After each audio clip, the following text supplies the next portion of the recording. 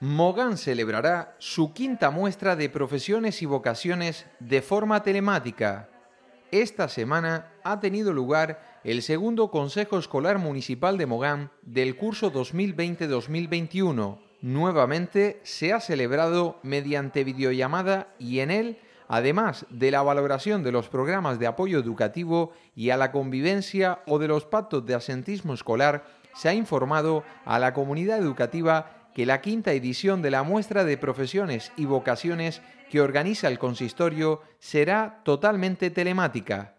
Como saben, hacemos tres consejos escolares en el curso escolar, ayer tocaba el segundo y un poco se tocan los temas que, tratamos siempre. El tema del sentismo escolar, cómo, cómo, iba, que la verdad que, que, se han mantenido las cifras más bien a lo bajo en vez de a lo alto, que eso es positivo, y realmente era por el inicio al curso escolar el miedo que había de enviar o, o no a nuestros hijos o a las hijas al, al cole, pero se ha corregido. Luego hablamos del tema de del apoyo que tenemos, un servicio creado de apoyo a la convivencia en los centros escolares. Eh, se trató el tema del concurso de carnaval, que como sabes está en marcha con los centros eh, educativos, a los cuales prácticamente se han sumado todos los centros y están participando. Hablábamos de cómo llevaban ellos el tema del COVID, que como todos saben pues ha habido algún caso. Estuvo presente también eh, la directora del centro de salud, en el que había en este caso dos representantes del AMPA que le hacían preguntas de, las circunstancias, de, de cómo estaban y demás.